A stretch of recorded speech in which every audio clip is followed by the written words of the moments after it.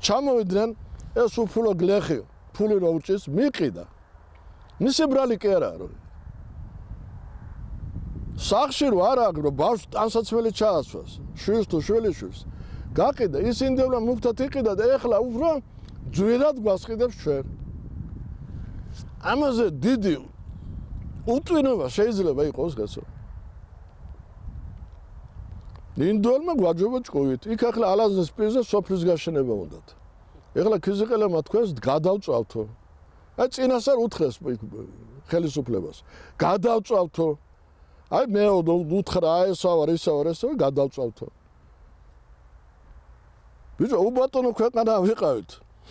და რამდენი ბატონი გვაზის ეხლა ქიზიყში ჯერთი რაიონებად დაყოფილი ქიზიყი ვის გავი ანა თელი საქართველო. ეს ხო საბჭოურია ეს ხო მესამე დასურია წეღარო ლაპარაკობდი რაიონი სიტყვა ქართულის კი არა დღეს ქიზიყში დედოფლის წყაროს რაიონი სიღნაღის რაიონი. რატო? ქიზიყი ხო ერთიანია ვახუშტი წაიკითხეთ. საქართველოს ისტორია და გეოგრაფია.